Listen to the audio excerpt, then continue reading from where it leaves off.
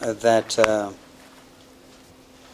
nobody will be seen to have been left behind. Today, the net result is conservatory orders remain in place, have actually been granted. have actually been been granted, granted, yes. granted today, and they remain in place uh, regardless of what uh, may have been said by William Ruto in Parliament. Uh, you had uh, some uh, some discussion about what was actually cancelled.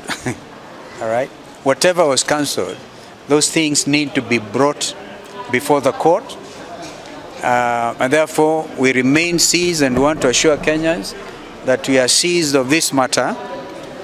And one of the things that, in fact, we want to do is to do a further affidavit by the petitioner and bring for record purposes and for take purposes of taking what in law is called taking judicial notice of the indictment of Andani in the United States of America under the Foreign Corruption um, Foreign Corrupt Practices Act.